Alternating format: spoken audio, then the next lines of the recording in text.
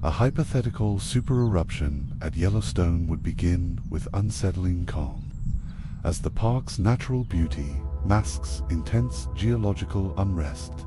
Scientific instruments would then pick up early warning signs, increasing seismic activity, ground uplift, and more violent thermal features, signaling the Earth's growing unease. This would quickly escalate as the ground fractures and the beginning of the end commences, with powerful steam and ash explosions tearing through the landscape. The eruption would then unleash a pyroclastic nightmare as superheated flows incinerate everything in their path, leaving no chance for survival as the eruption intensifies. A colossal ash column ascends miles into the atmosphere, punctuated by violent lightning, creating an awe-inspiring yet terrifying spectacle.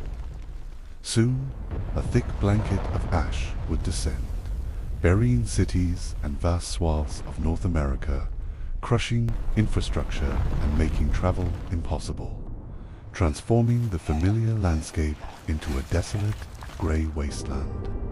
Globally, a shadow of darkness and cooling would fall upon the world as sunlight diminishes, leading to a volcanic winter that devastates agriculture and plunges temperatures.